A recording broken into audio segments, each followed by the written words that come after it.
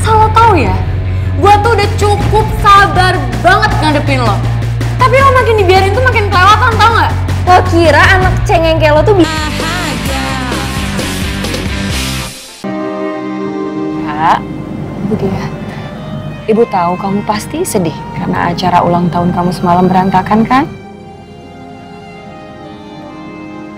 Iya bu. Rasanya kecewa banget. Padahal Rara udah nyiapin dari jauh-jauh hari. Tapi acaranya malah jadi kacau kayak semalam. Begitulah hidup, Ra. Kadang apa yang sudah kita rencanakan berakhir tidak seperti apa yang kita inginkan. Tapi satu hal yang kamu ingat, bahwa semua yang terjadi bukan tanpa alasan. Semua pasti ada hikmahnya, dan kita harus ambil pelajaran dari hikmah tersebut untuk kehidupan kita di masa depan. Ya? Iya bu. Makasih ya bu. Ibu yang cantik. Huh. Udah, jangan nangis ya. Jangan sedih.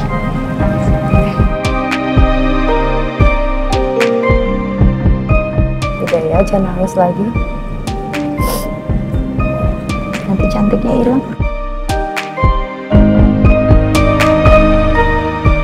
Bu Diah memang sangat baik dan perhatian. Orang seperti ini memang sangat tepat kalau dijadikan pendamping. Aku ya, Mang. Ago ya emang Ngapain sih kau Pak Jaya Bikin aku kaget aja kau Lama-lama aku bisa sipor jantung nih Tadi nggak ada, tiba-tiba sekarang ada Orang Pak Togar yang dari tadi ngelamun sendirian tanpa sadar ada saya.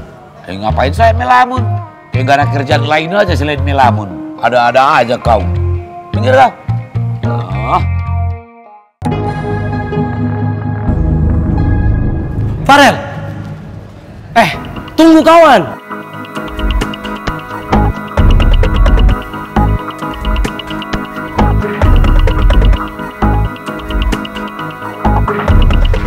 Sudah Bapak Purnama ada bersikap seperti es batu sama beta. Dingin pas kali kawan. Dan beta ini tidak kuat lihat Ale punya sikap seperti begini. Lebih baik gue kayak gini, Div. Daripada baik di depan tapi nusuk di belakang.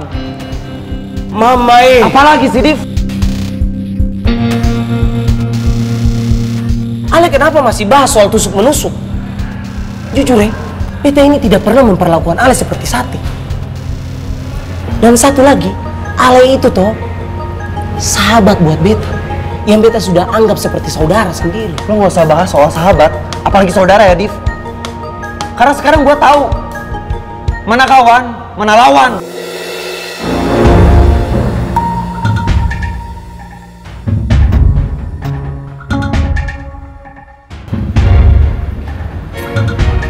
Selamat pagi, Pak. Selamat pagi, selamat pagi Bajunya rapiin, bajunya Pak. dirapiin ya Iya, Pak.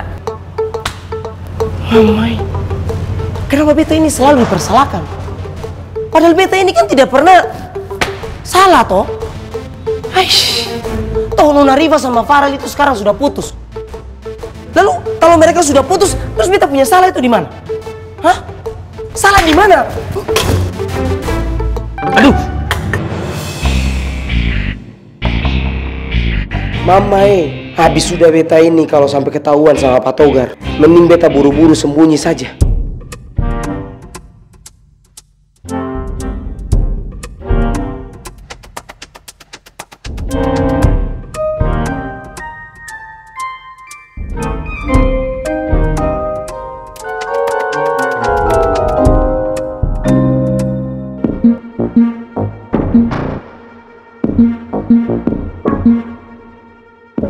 Siapa yang lempar ini?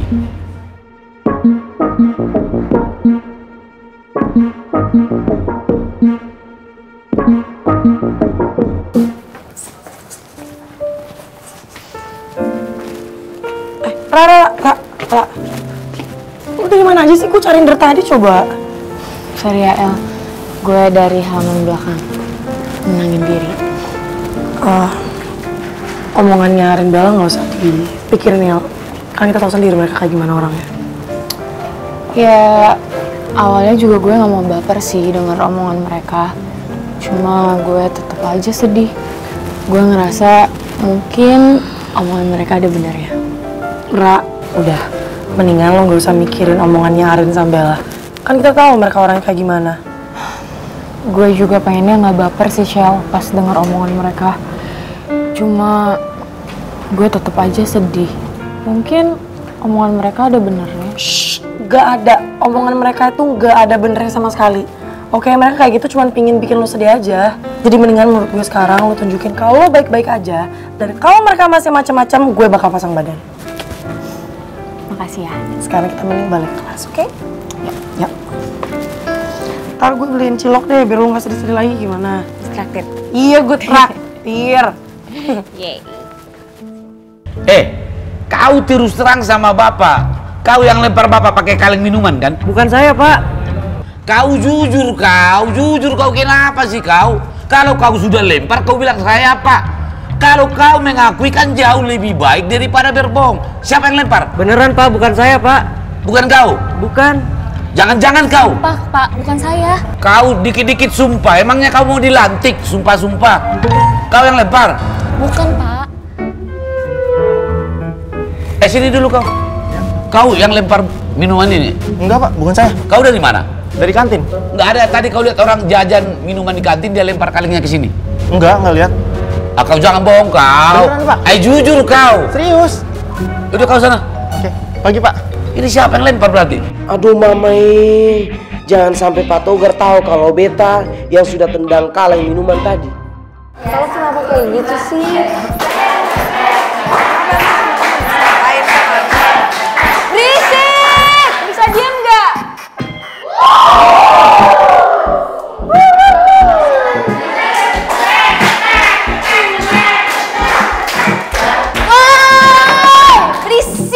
Udah mau jam sekolah, jadi kalian mendingan duduk aja, oke? Bel, Bel. Eh, kira-kira si Rara ngadu ke siapa ya?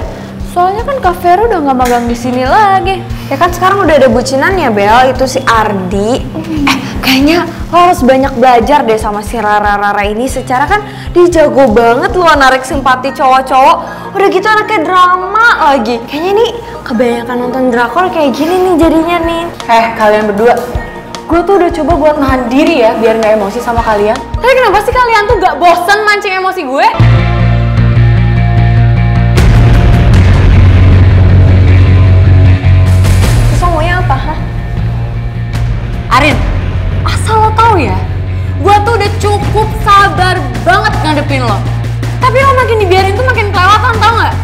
Kira anak cengeng kayak lo tuh bisanya apa selain ngadu? Kalau gue jadi lo, gue pulang langsung deh lanjut nonton drama Korea. Lo imajinasin aja tuh opa-opa lo yang gak ada itu. Lo kira gue takut sama lo? Gue juga gak takut ya sama lo. Iya tuh.